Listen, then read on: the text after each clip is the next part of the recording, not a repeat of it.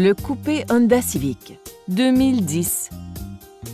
Ce coupé à 5 passagers n'a pas encore atteint le cap des 160 000 km. Ce véhicule propose une transmission manuelle, à traction avant et un moteur 4 cylindres de 2 litres.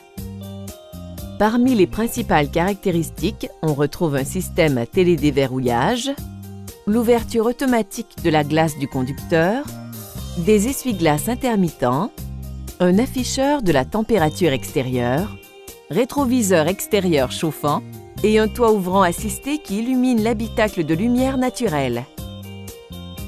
Ces attrayantes roues en alliage s'harmonisent aux formes des ailes qui accentuent le caractère sportif du véhicule.